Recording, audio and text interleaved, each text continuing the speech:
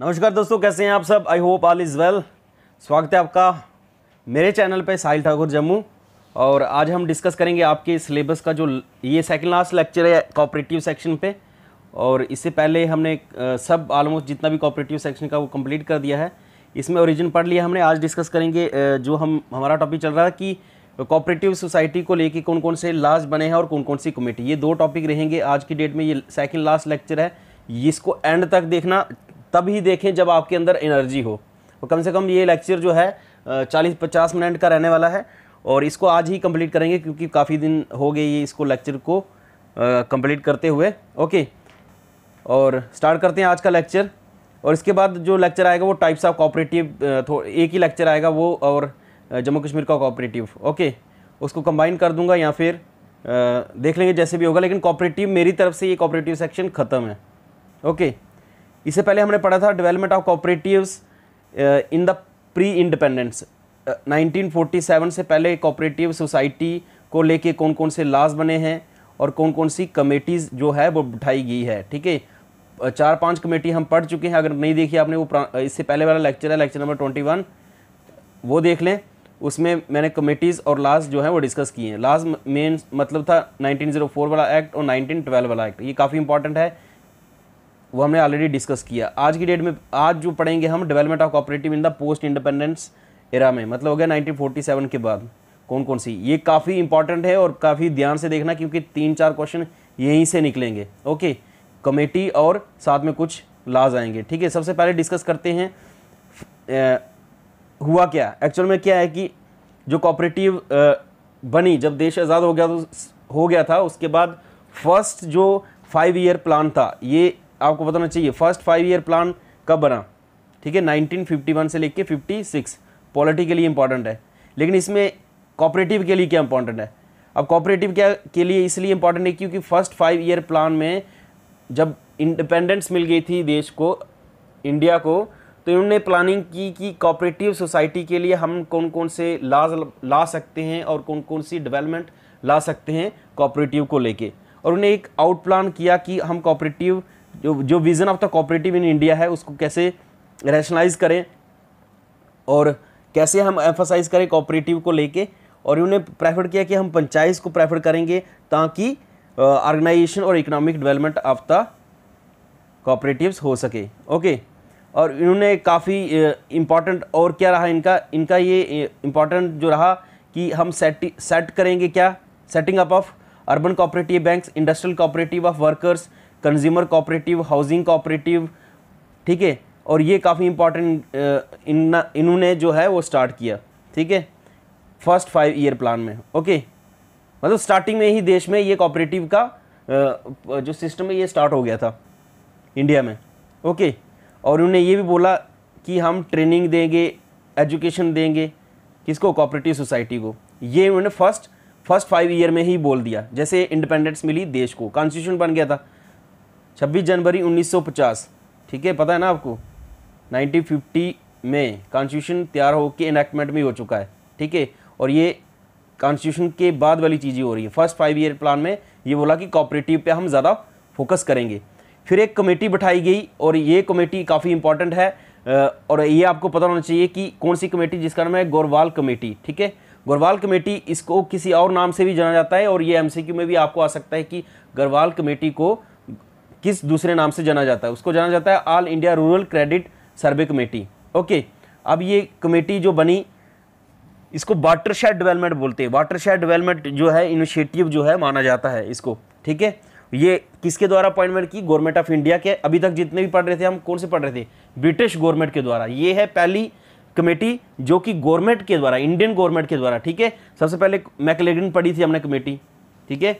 मैकलेगन committee लेकिन वो committee जो थी, वो फ़र्स्ट थी इंडिया में, लेकिन वो ब्रिटिश इंडिया के टाइम में थी।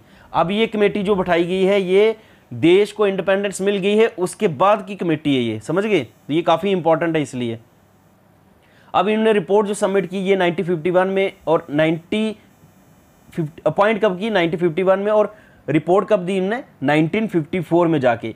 अब इन्होंने रिकमेंडेशन क्या दी, जो काफ़ी इंपॉर्टेंट है हमारे लिए। ओके ठीक है? उनने क्या क्या रिकमेंडेशन दी, वो इंपॉर्टेंट है। अब इनने काम क्या किया? मेस्टली जो यूनियन गवर्नमेंट था यूनियन गवर्नमेंट जो थी एट दैट टाइम नेहरू के टाइम में, इन्होंने क्या किया? जो इम्पीरियल बैंक ऑफ़ इंडिया था इम्पीरियल बैंक ऑफ़ इंडिया ठीक है? उसको कन्वर्ट कर दिया स्टेट बैंक ऑफ़ इंडिया में। और ये इकॉनमी में भी आ सकता है, ठीक है? 1955 में। तो इम्पीरियल बैंक ऑफ़ इंडिया को एसबीआई में कन्वर्ट कब किया? ठीक है? 1955 में। ये भी इंपॉर्टेंट है। ओके ये मेजर रिकमेंडेशन अब किया क्यों? ये चाहते थे कि हम जितना भी है कॉपरेटिव को लेके उनको अगर क्रेडिट देना पड़े या लोन देना पड़े, वो काम भी हम कर पाए। ठीक है? इसके बाद उन्होंने एक और काम किया, वो किया इसी दौरान, जो इनकी रिकमेंडेशन थी। Okay national cooperative development and warehousing board setup किया, ठीक है? ये काफ़ी इंपॉर्टेंट है, इनकी रिकमेंडेशन के बेस पे। ओके और इसको आरबीआई को भी अमेंडमेंट किया ताकि ये एक्टिव रोल प्ले कर सके। ठीक है? रिज़र्व बैंक ऑफ़ इंडिया पता है आपको कि 1934 के एक्ट के थ्रू बना है और 1935 में आरबीआई की एस्टेब्लिशमेंट हुई है। ठीक है? इसको भी अमेंड किया गया। ठीक है? इस कमेटी की रिकमेंडेशन के बाद ताकि हम एक्टिव रोल जो है वो प्ले कर सके किसके लिए?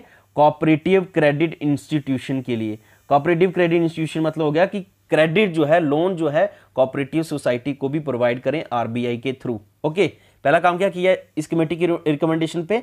इंपीरियल बैंक को कन्वर्ट किया एसबीआई में 1955 में और आरबीआई जो बैंक है, ठीक है रिज़र्व बैंक ऑफ़ इंडिया इसको मैंड किया कि ताकि ये क्रेडिट जो है वो किसको दे सके? कॉपरेटिव सोसाइटी को, ठीक है? 1953 में क्या हुआ? गवर्नमेंट ऑफ़ इंडिया ने रिज़र्व बैंक और के साथ jointly constitute central committee for the cooperative training to establish necessary training facility for the cooperative personnel. जितने भी कोऑपरेटिव के पर्सोनल थे, ठीक है, उनको क्या कर दी? ट्रेनिंग जो है वो प्रोवाइड करने स्टार्ट कर दी। गवर्नमेंट ऑफ़ इंडिया और आरबीआई ने मिलके, ठीक है? ऑल इंडिया कोऑपरेटिव यूनियन बनाई गई and the state cooperative union were interested with the training of member and office of the bearer for the cooperative organisation क्योंकि कोऑपरेटिव बैंक बनाने थे ना उन्होंने ओके कोऑपरेटिव बैंक बनाने के लिए आपको सबसे पहले जो जितने भी पर्सनल हैं इनके जितने भी इनके मतलब बैंक के, जो एम्प्लॉयज़ होंगे, ठीक है, उनको सबसे पहले ट्रेनिंग चाहिए कि कैसे कैसे देश में चलना है। तो वो आरबीआई की हेल्प से ही होगा, क्योंकि आरबीआई में जितने भी बंदे होंगे, वो ऑलरेडी ट्रेन हैं कि कैसे फाइनेंशियल जितनी भी ट्रांजेक्शन है या फिर जितने भी रूल्स एंड रेगुलेशन उसको कैसे चलाना है तो उसके लिए गवर्नमेंट ऑफ़ इंडिया ने हेल्प ली आरबीआई की और ये स्टार्ट किया ओके ये इस कमेटी की रिकमेंडेशन के बाद, ये काफ़ी इंपॉर्टेंट है गरवाल कमेटी क्या है उसका पूरा नाम क्या है? Popularly known as all India credit service society okay lecture को एंड तक देखना, क्योंकि इसमें चार पाँच क्वेश्चन आए, आएँगे इंपॉर्टेंट है, ठीक है? बाद में नहीं बोलना कि इसमें से कुछ आया नहीं। Okay second five year plan जो है 1956 और 61 के बीच में रहा, ठीक है? इस टाइम में भी किसकी गवर्नमेंट थी? नेहरू साहब, प्रधानमंत्री है। आपको पता होना चाहिए कि लॉन्गेस्ट प्राइम मिनिस्टर हैं सेवनटीन ईयर्स तक। ओके उसके बाद इंदिरा गांधी, नेहरू के बाद इनकी बेटी इंदिरा गांधी, उसके बाद मोदी साहब। ओके? मोदी 2.0 चल रहा है ना? Okay. Second five year plan में क्या क्या किया है उन्होंने? दिस प्लान ये वाला, ठीक है? इस प्लान में पाँच साल के प्लान में उन्होंने गवर्नमेंट ऑफ़ इंडिया का जो प्लान था फाइव ईयर का, उन्होंने ये किया emphasise building on the building up of cooperative sector as a part of scheme of plan development as being one of the central aim of national policy तो central government का जो M रहा कि national policy के base पे कि हम cooperative society को काफ़ी क्या करेंगे? काफ़ी इंप्रूवमेंट करेंगे और उनकी हेल्प करेंगे। The plan drew up programme of cooperative development based on the recommendation of all India rural credit survey committee ये वही है गरवाल कमेटी ठीक है? गौरवाल कमेटी इसी के बेस पे इनने जो रिकमेंडेशन दी थी, उसी के बेस पे ये क्या करेंगे?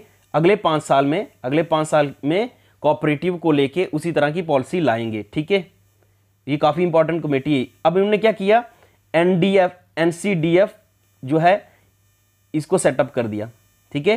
तो ये किस, आपको पता होना चाहिए कि एन सी डी एफ़ कौन से फाइव ईयर प्लान में बना है, ठीक है? इसकी फुल फॉर्म भी पता होनी चाहिए national cooperative development fund okay was also establish by the central government during this period to enable state to borrow the purpose of subscribing shares capital of non credit cooperative institution in the country ठीक है? कुछ नहीं, एक development fund बनाया ताकि cooperative को national level पे पैसा मिल सके। ठीक है? गवर्नमेंट की तरफ़ से। ओके क्योंकि जब तक गवर्नमेंट देश अभी अभी नया नया देश को नई नई आज़ादी मिली है। ठीक है? इंडिपेंडेंस मिली है। जब तक देश की गवर्नमेंट जो है कोऑपरेटिव सोसाइटी को हेल्प नहीं करेगी तब तक कोऑपरेटिव सोसाइटी नहीं चल सकती। तो स्टार्टिंग में आज की डेट में तुम देखते हो ऑटोनोमस भी है, सब कुछ है, लेकिन स्टार्टिंग में कहीं ना कहीं गवर्नमेंट का रोल रहता ही रहता है। आज की डेट में भी जो फंडिंग होती है गवर्नमेंट की तरफ़ से, ठीक है फंड जो है पैसा जाता है कि कहाँ? कोऑपरेटिव सोसाइटी को।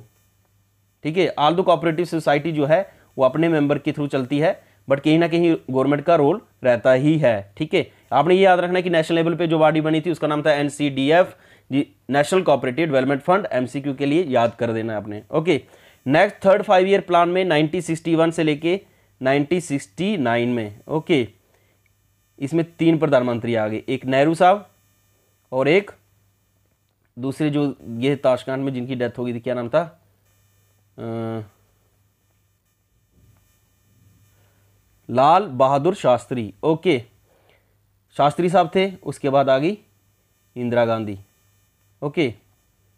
तो पाँच फाइव ईयर प्लान ठीक है? तो थर्ड फाइव ईयर प्लान था, इसने क्या सजेस्ट किया?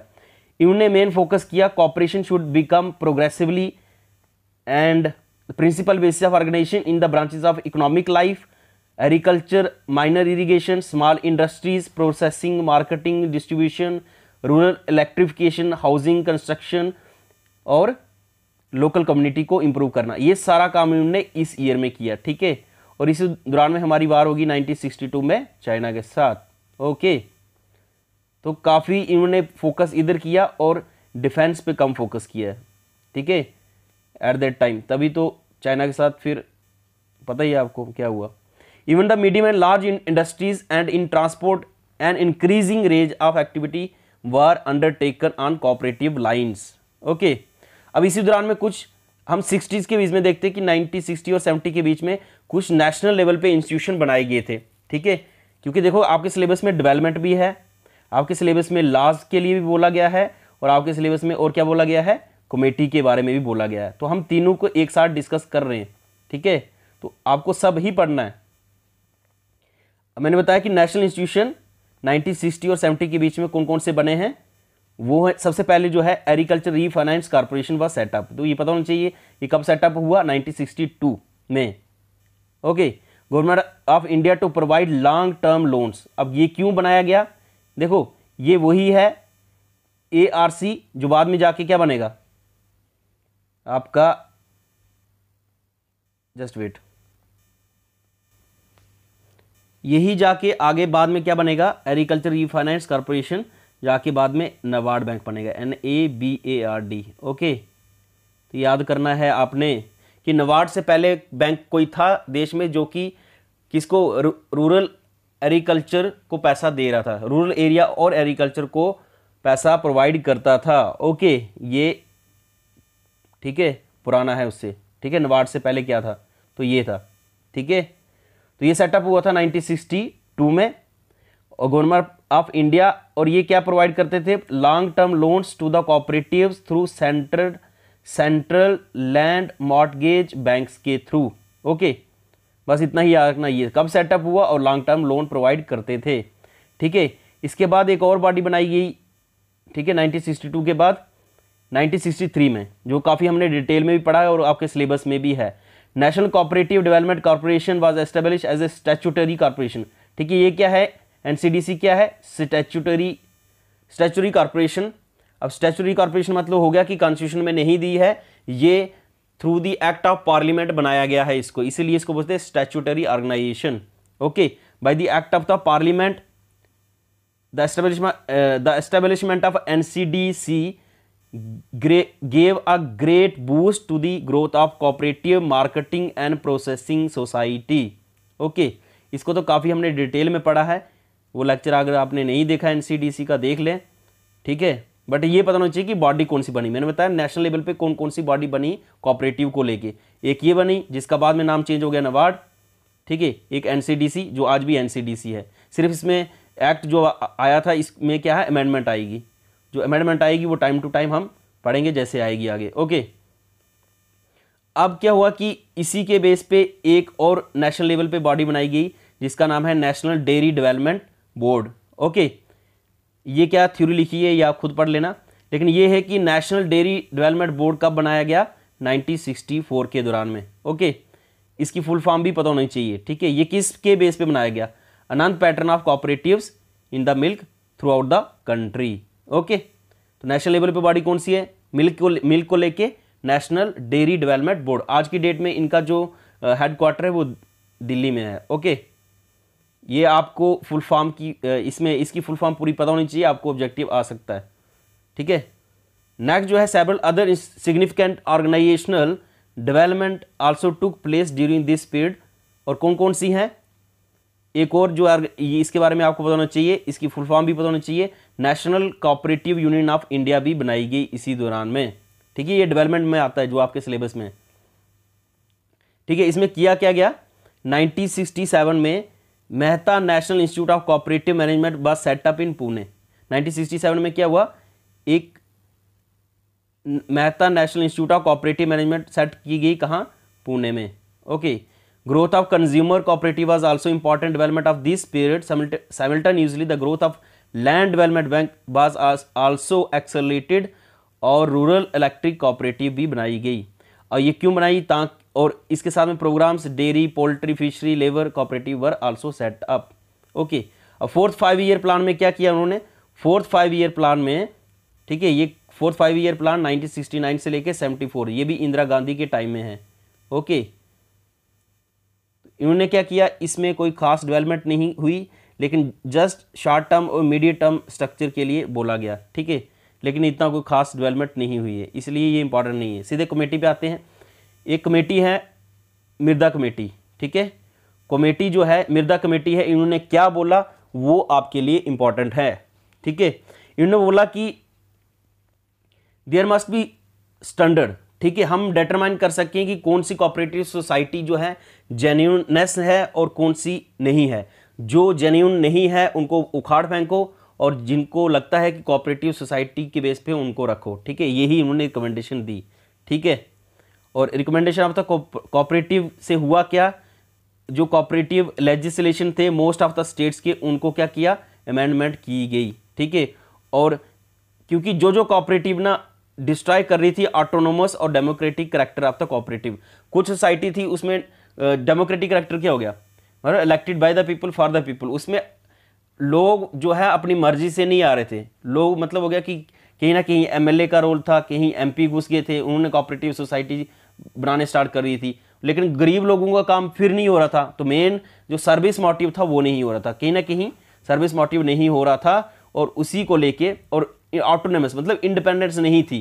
कहीं ना कहीं पॉलिटिकल जो इंटरफेरेंस थी, वो काफ़ी ज़्यादा थी। इसीलिए इस कमेटी ने रिकमेंडेशन किया कि जो जो कमेटी काम नहीं कर रही है ढंग से, उनको बंद करो और जो सही से काम कर रही है, उनको चलाओ। ये रिकमेंडेशन इस कमेटी ने दी। Okay next fifth five year plan में हुआ क्या? इसमें सिर्फ़ उन्होंने बोला कि हमें कहीं ना कहीं कोऑपरेटिव सोसाइटी में स्ट्रक्चरल रिफॉर्म लाने की ज़रूरत है। ठीक है?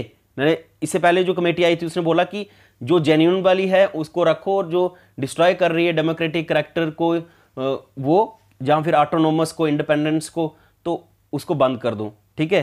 अब इसमें क्या बोला उन्होंने? इन्होंने ये बोला कि इस, ये वाली जो कमेटी है based on the recommendation of the expert expert group appointed by the planning commission ninety seventy two ठीक है? कि स्ट्रक्चरल रिफॉर्म जो है, वो structure reforms of the cooperative were sized अब इसमें हुआ क्या? Plan recommended farmer service cooperative society के बारे में बोला, ठीक है? फार्मर सर्विस कॉपरेटिव सोसाइटी के बारे में बोला, okay?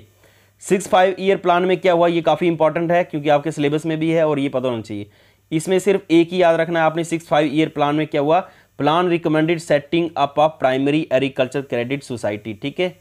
कि बैंक वो बनाने हैं कौन से विलेज लेवल पे जो काम कर सकें, ठीक है? और ये आपको बताना चाहिए कि जो पैक्स है आपके सिलेबस में भी दिया है, ओके? जो पैक्स जो है ये किस फाइव किस फाइव ईयर प्लान के टाइम था? सिक्स फाइव ईयर प्लान के टाइम में रिकमेंडेशन दी थी। बस इतना ही इसके बारे में पता होना चाहिए कि जो पैक्स जो है आपके सिलेबस में, वो किस की रिकमेंडेशन पे, कौन से फाइव ईयर प्लान की रिकमेंडेशन के बेस पे बनाया गया था? ओके नेक्स्ट जो है, ये तो आपको पता ही है नवाड एक्ट इसके बाद क्या हुआ? 1981 में पहुँच गए हम। अब इस दौरान में क्या बना? नवाड़ बना, और ये आपको पता है कि 1981 में पार्लियामेंट ने एक्ट पास किया और 1982 में सेटअप कर दिया बैंक को। ठीक है? एक्चुअल में इससे पहले कौन सा था? जो हमने अभी डिस्कस किया था पहले। ओके अभी इन्होंने काम क्या किया? देखो, इसको बड़े ध्यान से पढ़ना है। जितनी भी लाइनें लिखी हैं इधर। To provide refinance support to the cooperative banks जितने भी कॉपरेटिव बैंक्स हैं, उनको रीफाइनेंस करना, उनको पैसा देना, क्योंकि नवाड डायरेक्ट लोगों को पैसा नहीं देता है ना। इनडायरेक्ट लैंडिंग होती है। ओके इनडायरेक्ट लैंडिंग करने में मतलब ये हुआ कि नवाड देगा पैसा कॉपरेटिव बैंक को, ठीक है? ये कॉपरेटिव बैंक है। और कॉपरेटिव बैंक जो है, फिर लोगों को पैसा देगा। या फिर कॉपरेटिव ये नवाड जो है, ये regional region sorry regional rural bank को पैसा देगा। आरआरबी को और आरआरबी फिर जो है लोगों को पैसा देगा, ठीक है? तो ये क्या हुआ? इनडायरेक्ट लैंडिंग ये भी ऑब्जेक्टिव के लिए आपको पता होना चाहिए। क्या नबार्ड पैसा लोगों को डायरेक्ट देता है? भाई नहीं देता है। आरबीआई भी पैसा लोगों को डायरेक्ट नहीं देता है, ये भी पता होना चाहिए। ये दोनों। ये डायरेक्ट लैंडिंग नहीं करते हैं डायरेक्ट पैसा लोगों को लोन की फॉर्म में नहीं देते हैं, ये बैंकों को देते हैं बैंक फिर हमें देते हैं, ठीक है? ये ऑब्जेक्टिव काफ़ी इंपॉर्टेंट है। यूपीएससी में चार बार आ चुका है, ओके? और जेके में भी आ सकता है। ओके नेक्स्ट ये तो हम काफ़ी डिटेल में पढ़ेंगे नवार के बारे में। जो पढ़ लिया हमने, पढ़ेंगे क्या? ये हमने पढ़ ही लिया है। ओके ये भी काफ़ी इंपॉर्टेंट है। ये वाला जो है, ये काफ़ी इंपॉर्टेंट है। अब इंपॉर्टेंट क्यों है? क्योंकि multi state cooperative society act पहले तो बना था 1942 में। ठीक है? मल्टी स्टेट कोऑपरेटिव और किस कमेटी ने रिकमेंडेशन किया था वो भी आपको पता है। किसने बोला था कि कॉपरेटिव सोसाइटी को लेके मल्टी स्टेट कोऑपरेटिव सोसाइटी का एक्ट आना चाहिए 1942 में। लेकिन अब जो हमारा देश है, तब वो ब्रिटिश इंडिया था। अब इंडिया आ गया, ठीक है? तो इस टाइम में मल्टी स्टेट कॉपरेटिव एक्ट जो है एटीन नाइनटी एटीन फोर जो है, ये लाया गया, ठीक है? Earlier multi unit cooperative society act of 1942 was repeal by the this act repeal मतलब हो गया इसको रिमूव कर दिया गया, ठीक है? रिप्लेस कर दिया गया, ठीक है? तो आपको क्या याद करना है कि ये जो एक्ट है 1942 वाला एक्ट था ब्रिटिश इंडिया के टाइम में, अब 1984 में, ठीक है? इसको रिपील किया गया। बस इतना ही इंपॉर्टेंट है, ठीक है? बाकी इसके प्रोविज़न हम पढ़ेंगे आगे, ठीक है? इतना ही काफ़ी है। अब पढ़ना आपने कि आरबीआई ने एक कमेटी बिठाई थी, ठीक है? आरबीआई में। एक कमेटी बिठाई थी सॉरी आरबीआई की रिकमेंडेशन पे एक कमेटी बिठाई थी। वो इंपॉर्टेंट है, काफ़ी ज़्यादा इंपॉर्टेंट है। वो आपने देखनी कौन सी कमेटी ठीक है, उसका नाम है एग्रीकल्चर क्रेडिट रिव्यू कमेटी ठीक है, क्या बोला मैंने?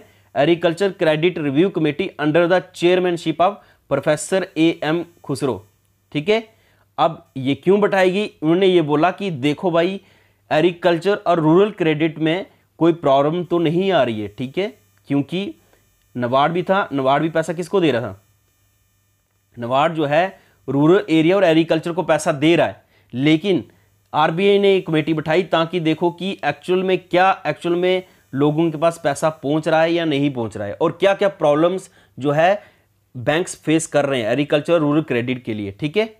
तो वही इन्होंने रिकमेंडेशन दी, ठीक है?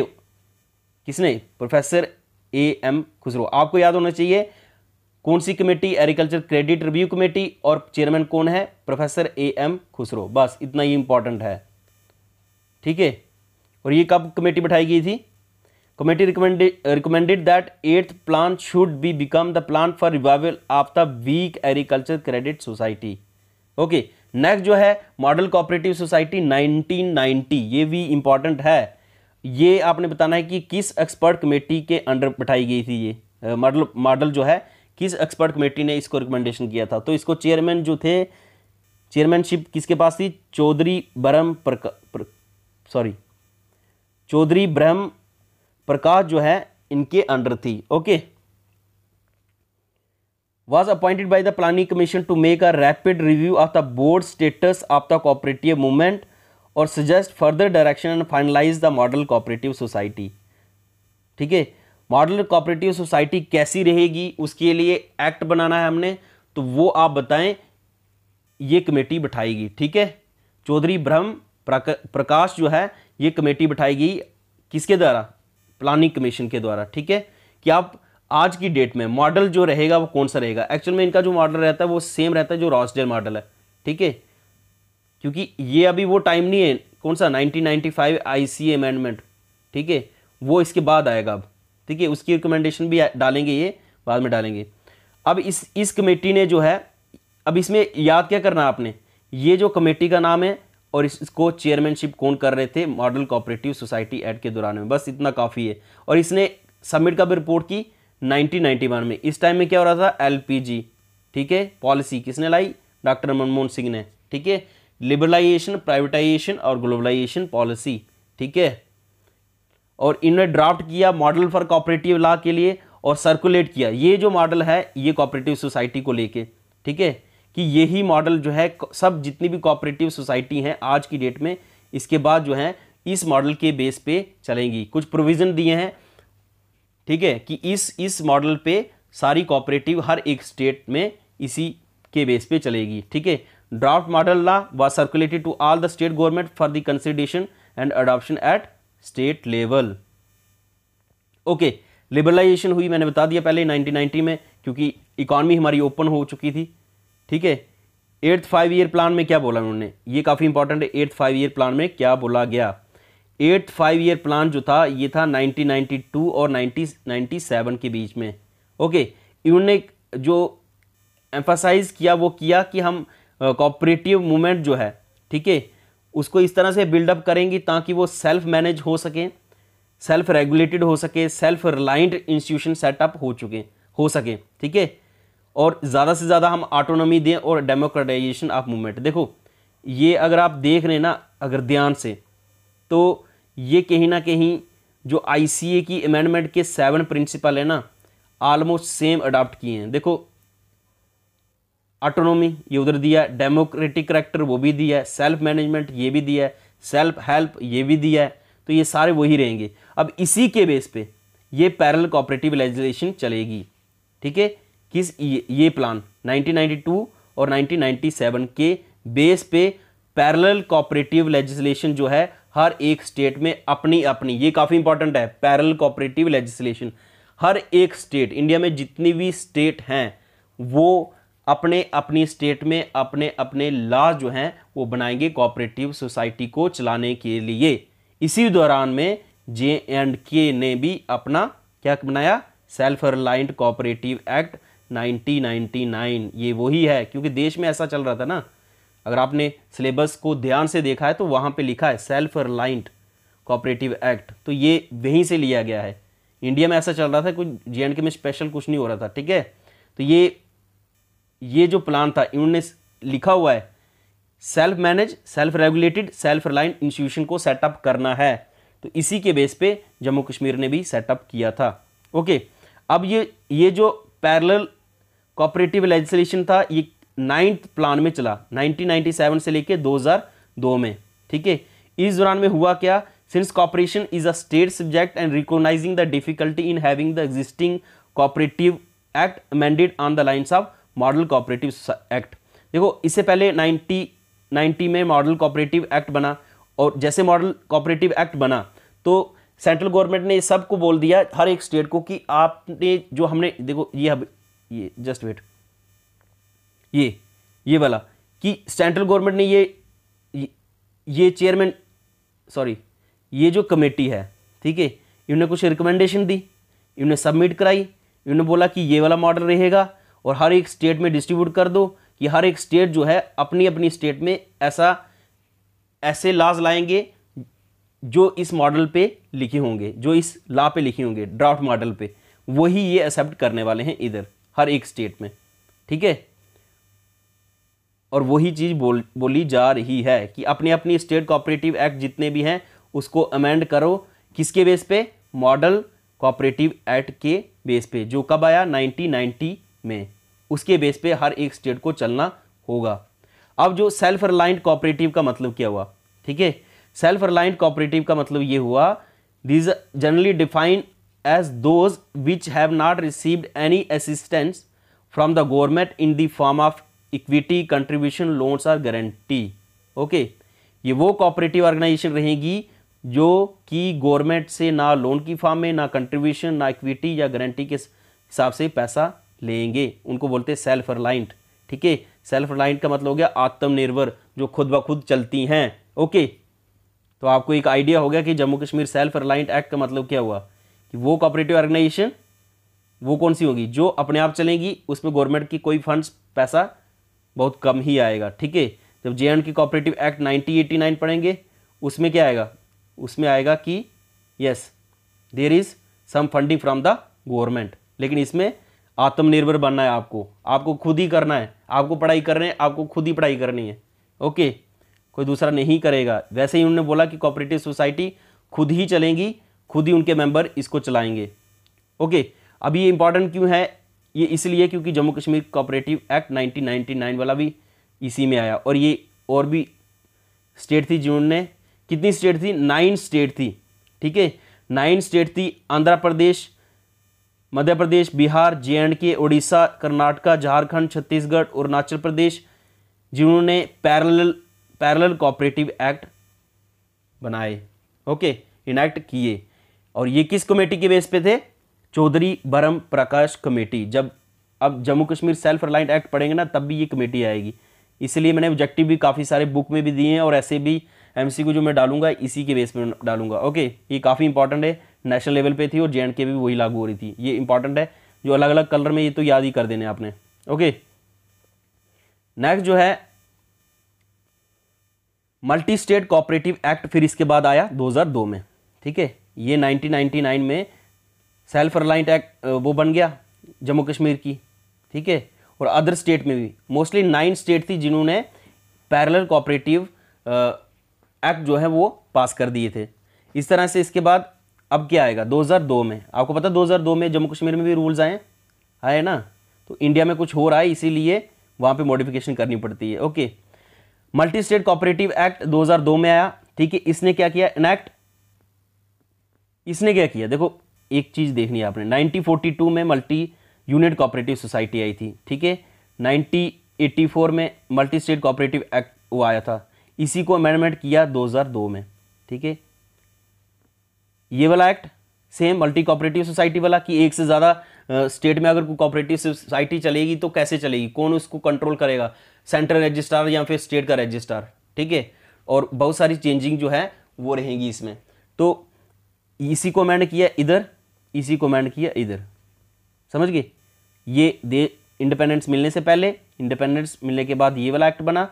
मल्टी स्टेट कोऑपरेटिव के लिए। और ये अब दोबारा से 2002 में। इसके बाद करेंगे ये 2011 में, ठीक है? इसके बाद अभी 2021 में सुप्रीम कोर्ट ने फिर से बोला है स्टक डाउन किया कुछ, ठीक है? कौन सा पार्ट किया वो डिस्कस करेंगे, ठीक है? आल वो सेम रहेगा 2011 का, जो भी अमेंडमेंट हुई है नाइन्टी सेवन्थ लेकिन एक दो पार्ट उसमें से कुछ डिलीट किया है। वो क्या किया है जब लेक्चर आएगा नाइन्टी सेवन्थ वाली। वो हम डिस्कस करेंगे, ठीक है? बस इसमें ये याद करना है कि आपने कि मल्टी स्टेट कॉपरेटिव एक्ट जो था enacted in 1984 was modified in 2002 में। ठीक है? अब क्यों मॉडिफाई किया?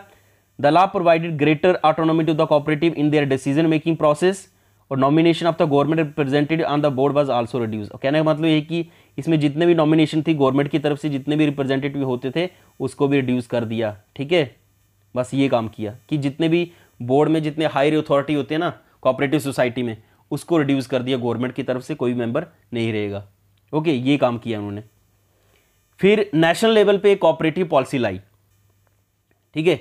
ये काफ़ी इंपॉर्टेंट है और ये याद करना है कि देखो, एक तो ईयर याद ज़रूर होने चाहिए। जैसे multi state cooperative society act 2002 है, इससे पहले कब आया? 1984 में, इससे पहले कब आया? 1942 तो ईयर याद होना चाहिए पॉलिसी कब आई? इन्हें क्या किया? अमेंडमेंट की और क्यों किया? अब ये क्यों किया? इसके मैंने एम्स बता दिया। अब नेशनल कोऑपरेटिव पॉलिसी कब आई? 2002 आपको याद होना चाहिए, ठीक है? और इसके बाद इसने क्या किया? ऑब्जेक्टिव क्या था? वो भी मैंने लिखा हुआ है। अलग कलर में ये भी आपको पता होना चाहिए, ठीक है? All round development of cooperative in the country अब इसने क्या क्या किया? वो काफ़ी इंपॉर्टेंट है, ये देख लेना। जस्ट वेट ये वाला। अब इन्होंने क्या किया? कौन सा? 2002 वाली नेशनल लेवल पे पॉलिसी अब नेशनल लेवल पे पॉलिसी है तो इस पर ऑब्जेक्टिव बन सकता है, ठीक है? तो आपको पता होना चाहिए। इसमें क्या किया है उन्होंने? Provide it provides cooperative with the necessary support encouragement and assistance to encourage functioning as a autonomous self reliant democratically manage institution accountable to their members making a significant contribution to the national economy ये बातें इन्होंने बोली। और इन्होंने एक और काम किया, वो ये किया। Based on the recommendation made on the conference of the state of minister on the cooperation government of India in 2002 constitute ministerial task force तो मिनिस्ट्रियल टास्क फोर्स जो है, वो भी बनाएगी इसी दौरान में, ठीक है? Formulate a plan of action implementation of the national cooperative policy एक बनाएगी बॉडी जिसका नाम था मिनिस्ट्रियल टास्क फोर्स और इनका काम क्या था कि आपने इम्प्लीमेंट करना क्या? नेशनल कोऑपरेटिव पॉलिसी बस ये जो पॉलिसी लाई है हमने, इस पॉलिसी में ये ये करेक्टरिस्टिक लिखे हैं कि कोऑपरेटिव सोसाइटी जो भी चलेगी, वो ऑटोनोमस होगी, वो सेल्फ रिलाइंट होगी डेमोक्रेटिकली होनी चाहिए अकाउंटेबल भी होनी चाहिए और जितने भी मेंबर हैं वो खुद ही डिसीज़न लें कोऑपरेटिव सोसाइटी को लेके, ठीक है? और एक मीटिंग बैठाई और एक मिनिस्ट्रियल टास्क फोर्स बनाई ताकि आप इंप्लीमेंट करो कोऑपरेटिव पॉलिसी नेशनल लेवल पे ओके अब इस टास्क फोर्स ने क्या सुजेस्ट किया? इन्होंने ये सुजेस्ट किया कि एक सिंगल लॉ होना चाहिए instead of parallel laws parallel जैसे नाइन्टी नाइन्टी नाइन वाला जम्मू कश्मीर का है पैरल लॉज ठीक है ये नहीं होना चाहिए। सिर्फ़ एक ही लॉ होना चाहिए।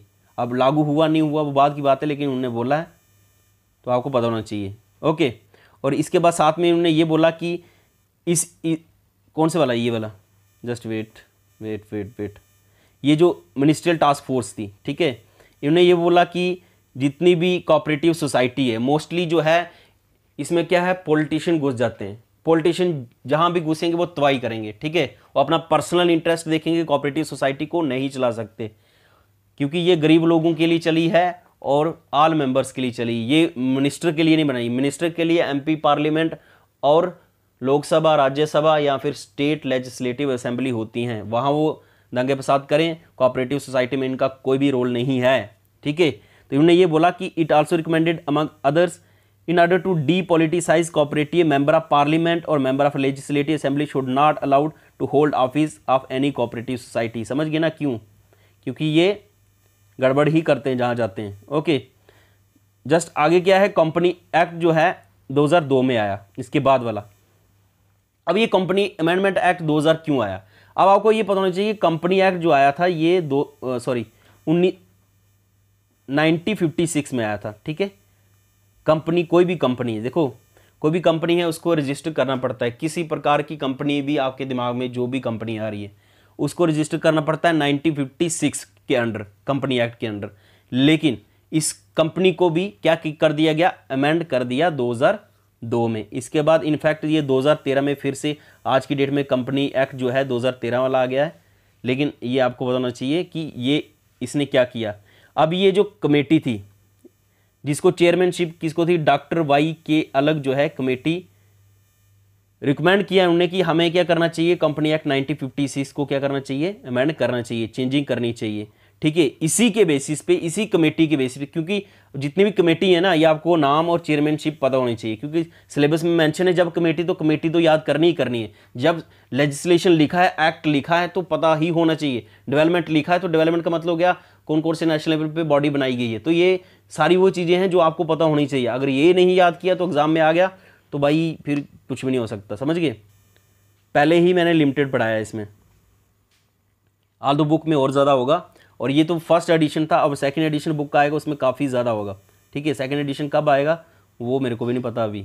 ठीक है, लेकिन जब तक J K P S C assistant registrar का एग्ज़ाम होगा, तब तक मेरी ही बुक चलेगी। ओके, बस एडिशन चलता रहेगा सेकेंड थर्ड फोर्थ फिफ्थ जो भी है। Okay on the basis of recommendation of the committee the producer company bill was introduce in the parliament बस यार इसमें कुछ नहीं किया उन्होंने बिल पास किया पार्लियामेंट से। ठीक है? पार्लियामेंट में क्या किया उन्होंने ये जो एक्ट कंपनी एक्ट था, इसको इंट्रोड्यूस किया और इसको क्या कर दिया? अमेंड कर दिया। 2002 एक्ट में। ठीक है? अब इसमें किया क्या? ये लिखा हुआ है, ये खुद देख लें, ये इंपॉर्टेंट है ही नहीं। बस इसमें कमेटी का जो नाम है, वो पता होना चाहिए कि किस किसके चेयरमैनशिप पे इसको अमेंड कर दिया गया है। ठीक है? फिर इसके बाद जो एनसीडीसी है, ठीक है, ये आपके सिलेबस में जो है एनसीडीसी ठीक है, इसको काफ़ी बार अमेंडमेंट कर दिया गया है नेशनल कोऑपरेटिव डेवलपमेंट कॉरपोरेशन ठीक है, इसको काफ़ी हमने डिटेल में डिस्कस कर दिया है। सबसे पहले लेक्चर हमने स्टार्ट ही वहीं से किए थे, ठीक है, क्योंकि वो जो टॉपिक है ना, वो आपके इकॉनमी से भी रिलेटेड है। जैसे कॉपरेटिव बैंक है आर है, ये आपकी इकॉनमी में भी आएगा, और कॉपरेटिव बैंक्स जो हैं, ये आर ये इकॉनमी में भी हैं कंसेप्ट तो मैंने उसी से स्टार्ट किया था ताकि आपकी इकॉनमी भी स्ट्रांग हो जाए और वही कंसेप्ट भी स्ट्रांग हो जाए। ओके इसमें 2002 में एक्ट आया ये अमेंडमेंट इसमें क्या किया वो आप खुद देख लेना। इसमें वैसे बता ही देता हूँ आप क्या देखोगे। इसमें क्या किया लाइफ स्टॉक को भी इंक्लूड किया इंडस्ट्रियल एक्टिविटी और इनको पैसा देंगे। बस सीधी सी बात है कि जितना भी लाइफ स्टॉक रहेंगे, ठीक है, जैसे पोल्ट्री फार्म है, ठीक है, ये ना पोल्ट्री फार्म को भी पैसा देते हैं। जैसे जम्मू कश्मीर में ना अभी इनकी स्कीम चल रही है एनसीडीसी वालों की। जितने भी पोल्ट्री फार्म वाले आप देखते हैं, मुर्गे छोटे छोटे ठीक है, वो उनको क्या करते हैं सेल्फ एम्प्लॉय करने के लिए कोऑपरेटिव सोसाइटी चलाने के लिए उनको पैसा प्रोवाइड करते हैं। पहले गवर्नमेंट को देते हैं या फिर कोऑपरेटिव सोसाइटी होती है, उनको डायरेक्ट पैसा देते हैं, वो आगे पोल्ट्री फार्म वगैरह चलाते हैं, ठीक है? तो गवर्नमेंट का फंड मिलता है, वही इंक्लूड करने के लिए उन्होंने ये एक्ट लाया, ठीक है? बस इसमें यही था। बाकी डिटेल में हमने डिस्कस किया। आज हमने क्या क्या पढ़ा पोस्ट इंडिपेंडेंस में, इसको देख लेते हैं शॉर्टकट जो हमने ऑलरेडी डिस्कस किया है। फ़र्स्ट फाइव ईयर प्लान में क्या हुआ? कोई डेवलपमेंट हुई? No no. सेकंड में क्या हुई? एनसीडीएफ बना। ठीक है? National cooperative development fund yes ये हुआ। अभी इनका टारगेट क्या था? कि फार्मर को हम पैसा ज़्यादा से ज़्यादा प्रोवाइड करें। Third five third five year plan में क्या हुआ? एनसीडीसी को बनाया गया। नेशनल कॉपरेटिव डेवलपमेंट कॉर्पोरेशन 1963 ये काफ़ी इंपॉर्टेंट है, ये पता होना चाहिए। हेडक्वार्टर कहाँ है? दिल्ली है। नबार्ड बनाया गया 1981 में। उसकी फुल फॉर्म पता होनी चाहिए। बाकी डिस्कस हमने अप जो इसका सिलेबस था उसमें कर दिया। सेवन फाइव ईयर प्लान में क्या हुआ? इन्होंने पैक्स जो आपके सिलेबस में, इसकी रिकमेंडेशन दे दी, ठीक है? पैक्स हो गया प्राइमरी एग्रीकल्चर क्रेडिट सोसाइटी मतलब हो गया कि विलेज लेवल पे बैंक बनाएँगे, जिसमें हम पैसा प्रोवाइड करेंगे विलेज लेवल पे ओके इसके बाद हमने पढ़ा कि मॉडल कोऑपरेटिव एक्ट जो आया 90 90 में आया और यही मॉडल जो है, देश में हर स्टेट को भेजा गया कि यही मॉडल आपने, ये ये प्रोविज़न आपने अपनी कोऑपरेटिव सोसाइटी में रखने हैं। ठीक है? ताकि रेफरेंस के लिए और कैसे मैनेज करना है कोऑपरेटिव सोसाइटी को, ठीक है? उसी के बेस पे चलती है। फिर नेशनल कोऑपरेटिव पॉलिसी आई और उन्होंने मिनिस्ट्रियल टास्क फोर्स बनाई। उन्होंने बोला कि एमपी और एमएलए को नहीं घुसना चाहिए कोऑपरेटिव सोसाइटी में। ये जहाँ जाते हैं, वहाँ दंगा दंगे करते हैं। ओके और नेक्स्ट नेक्स्ट जो है ये लेक्चर मैंने डिस्कस कर दिया है आल दो, लेकिन शॉर्टकट डिस्कस कर देते हैं, ठीक है? क्योंकि ये हमने ख़त्म करना है। काफ़ी दिन हो गए ऐसे ही। प्रेजेंट, आज देखना है आपने कि ये जितना भी ये ख़त्म हो गया, जैसे प्री इंडिपेंडेंस में कॉपरेटिव क्या थी, कितनी कमेटी थी, क्या लास्ट थे, क्या डेवलपमेंट हुई, मैंने डिस्कस कर दिया। पोस्ट इंडिपेंडेंस में क्या हुआ कौन कौन सी कमेटी थी कौन कौन से लाज बने कौन कौन सी डेवलपमेंट हुई, मैंने सारा डिस्कस कर दिया। इसमें से पाँच से छः सात क्वेश्चन निकल सकते हैं डायरेक्ट जितना भी डाटा मैंने दिया है, इसको बार बार रिवाइज करो, जितना हो सकता है। इसमें कोई भी एडिशन होगी, अक्टूबर के बाद मैं कॉपरेटिव सोसाइटी पे ओके, अक्टूबर में। पंद्रह अक्टूबर के बाद आपको कोऑपरेटिव सोसाइटी पे जितना भी एडिशन करना होगा, मैं खुद करा दूँगा। अभी आपने बाकी सब्जेक्ट पे फोकस करना है। जितना मैंने पढ़ाया, उसको रिवाइज करो लेक्चर को बार बार देखो। और जिन्होंने बुक ली है, उनके लिए बहुत बढ़िया है। आप एमसीक्यू प्रैक्टिस करते रहें। आल तो हमने एमसीक्यू प्रैक्टिस यूट्यूब पर भी करनी है। बट इसको इसको ही रिवाइज करो जितना हो सकता और अदर सेक्शन पे घुसो। जैसे जोग्राफी है, उसको अच्छे से पढ़ो। हिस्ट्री है उसको अच्छे से पढ़ो, पॉलिटी है उसको अच्छे से पढ़ो। आल दो आपका क्या है? रीजनिंग। रीजनिंग से भी सात आठ क्वेश्चन निकलेंगे, वो भी पढ़ो। क्योंकि आपको ऑलराउंडर बनना है ना, ठीक है? पीएचडी तो करनी नहीं है एक सब्जेक्ट में। पीएचडी करोगे तो फिर भाई पीएचडी करनी थी, इधर क्यों आ रहे हो? समझ गए ना? पीएचडी नहीं करनी है। आपने सिर्फ़ पॉइंट लेने हैं, जिस, जैसे अगर थर्टी मार्क्स का थर्टी में से आपके ट्वेंटी से ट्वेंटी फाइव निकलें, ठीक है? वैसी स्ट्रैटेजी चलनी है। अब पॉलिटी अगर दस नंबर की आ रही है, दस में से सात नंबर आपके आने चाहिए, फिर सिलेक्शन है आपकी। हिस्ट्री है, अगर दस नंबर आ रहे हैं, दस में से आपके छः दस में से तो नौ नंबर आने चाहिए, फिर सिलेक्शन है। क्योंकि हिस्ट्री काफ़ी ईजी होती है ओके इकॉनमी का खाली करंट अफेयर ही रहता है, उसमें कोई हिस्ट्री हिस्ट्री बेसिक कंसेप्ट थोड़े से होने चाहिए, वो आपने मैक्रो इकॉनमी में पढ़ने हैं, वहाँ से आप उठा सकते हैं, ठीक है? बाकी जे एंड के की जीडीपी क्या है जे एंड के की इकॉनमी क्या है वो देख लेना, इतना तो है ही नहीं, वो एक पेज की बना लेना। और हाँ एक और बात बता देता हूँ, जितना भी आपके पास मटेरियल होगा, जैसे कॉपरेटिव का है तो कॉपरेटिव का पंद्रह पेज से ज़्यादा आपके अपने पर्सनल नोट्स नहीं होने चाहिए। फिफ्टीन पेज ये क्यों बोल रहा बोल रहा हूँ मैं, क्योंकि आपकी कम से कम सात आठ सेक्शन है। सात आठ सेक्शन की अगर दस दस पेज बनाओगे तो हंड्रेड पेजेस तो वैसे बन जाएँगे आपके। ठीक है? समझ गए? और जब एग्ज़ाम होगा, उससे पहले दो दिन हंड्रेड पेजेस ही आप रिवाइज कर सकते हो। रिवाइज करना है। जैस जितना हो सकता है उतना रिवाइज करें। ठीक है? This is only for the motivation purpose next हम डिस्कस करते हैं प्रेजेंट जो कॉपरेटिव uh, सोसाइटी का कॉन्स्टिट्यूशन स्टेटस क्या है। अब ये अगर वीडियो करप्ट हो गई होगी तो प्रॉब्लम है क्योंकि इसमें लेक्चर रिकॉर्ड ज़्यादा देर तक होता नहीं है। जस्ट वेट देखता हूँ कितना हुआ। फोर्टी फाइव अगर ये हो गया डिलीट तो भाई फिर से रिकॉर्ड करना पड़ेगा मेरे को। भगवान ये भगवान नहीं करना, क्योंकि काफ़ी मेहनत लगी है। Just present constitution status of cooperative society in India क्या है? आपने याद करना है 97 कॉन्स्टिट्यूशन अमेंडमेंट एक्ट 2011 में आया और इसने क्या क्या अमेंडमेंट की? पार्ट नाइन बी इनको इंक्लूड किया और इसमें आर्टिकल है 243 जेड एच से लेके 243 जेड टी तक। ओके इसको इंसर्ट किया गया और इसमें कोऑपरेटिव सोसाइटी वर्ड को जोड़ा गया। ओके नेक्स्ट जो है, ये डीपीएसपी जो है, ठीक है? कॉन्स्टिट्यूशन में स्टेटस क्या है इसका कॉपरेटिव का? डीपीएसपी में जोड़ा गया इसको आर्टिकल 43 डीपीएसपी पार्ट फोर में, ठीक है? डीपीएसपी पार्ट फोर में आता है।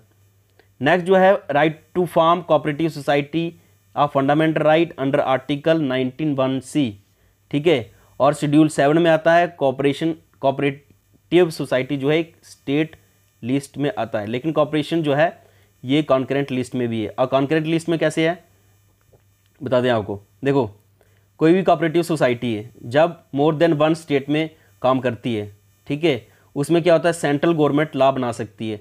जब सेंट्रल गवर्नमेंट लॉ बनाएगी सेंट्रल रजिस्ट्रार काम करेगा उसमें, ठीक है तो सेंट्रल रजिस्ट्रार को अपॉइंट कौन कर रहा है? मोर देन वन स्टेट में, जैसे अमूल है। अमूल जो है, वो पूरे देश में चल रहा है, ठीक है, हर एक स्टेट में। तो इन इनको जो, उनके लिए जो होता है सेंट्रल रजिस्ट्रार होता है। और सेंट्रल रजिस्ट्रार को अपॉइंटमेंट कौन करता है? Central government okay central government और जब भी कोई चीज़ कॉन्करेंट लिस्ट में आती है कॉन्करेंट लिस्ट में, ठीक है? उसमें स्टेट भी लाभ बना सकती है और सेंट्रल गवर्नमेंट भी लाभ बना सकती। है इसलिए कॉन्करेंट लिस्ट बोला। अभी रिसेंटली जो है कॉपरेशन मिनिस्ट्री भी बना दी है, ठीक है? कॉपरेशन के लिए।